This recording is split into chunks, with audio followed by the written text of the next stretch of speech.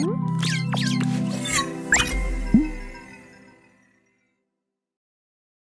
Zil Traders, di mana pun teman-teman berada, selamat menyaksikan Daily Outlook untuk hari ini, hari Kamis 9 Desember 2021.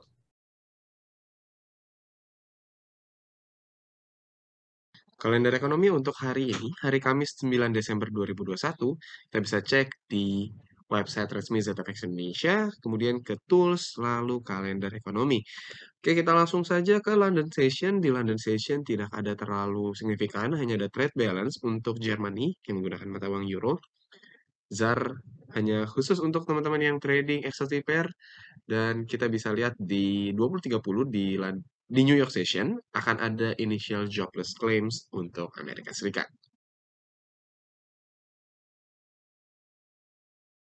Secara daily time frame, teman-teman kita bisa melihat bahwa gold sudah reject area resistance sebelumnya di sekitar 1795 sesuai dengan yang kita diskusikan sebelumnya.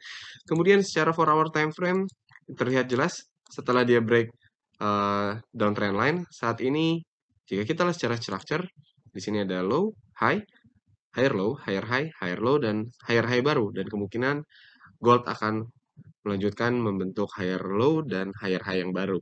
Dan bila kita gambarkan dengan trendline seperti ini, gold sudah sangat dekat dengan trendline, mungkin untuk akan melanjutkan kenaikan hingga 1795 atau lebih jauh menuju 1811.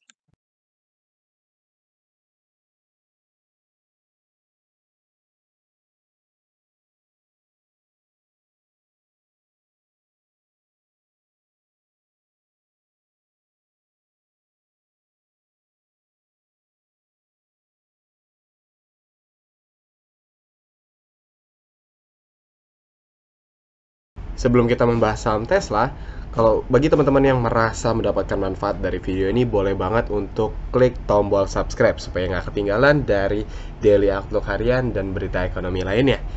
Yes, untuk saham Tesla secara daily time frame kita bisa melihat tiga hari berturut-turut sudah tutup bullish dan sudah mereject area support di psychological number di 1000 area. Dan saat ini dari Tesla sendiri sudah siap untuk menuju resistance selanjutnya di sekitar 1163 dan kemudian di 1237. Meskipun demikian, jika kita lihat ke 4 hour time frame, di 4 hour time frame ya teman-teman, kita bisa melihat bahwa ada tendensi dari penurunan Tesla karena kalau kita lihat ini seperti ada downtrend line dari saham Tesla. Namun jika bisa dilewati dengan baik, Tesla akan dapat dengan mudah menuju ke Area resistance berikutnya di 1963 dan juga 1237.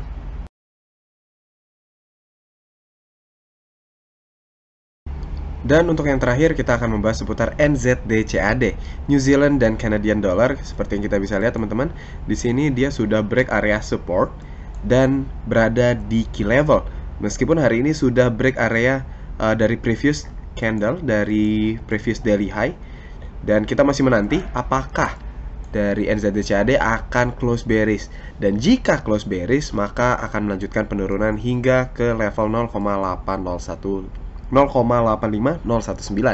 Kemudian kita top down ke 4 hour time frame. Di sini terlihat jelas teman-teman. Kita melihat secara market structure ya. Di sini ada high, low, lower high, lower low, lower high, lower low. Dan saat ini New Zealand Cat sedang mencari area uh, untuk membentuk dari new lower high. Jadi mungkin saja di area ini kalau kita gambarkan dan di sini ada secara 4 hour time frame di sini ada key level yang mungkin akan menjadi area pembalikan arah dari NZD-CAD untuk lanjut turun lebih jauh. Oke itu dia seputar daily outlook untuk hari ini. Jangan lupa untuk join Z Academy secara gratis ya. Oke, saya Kennedy, sampai jumpa di Daily Outlook besok. Bye-bye.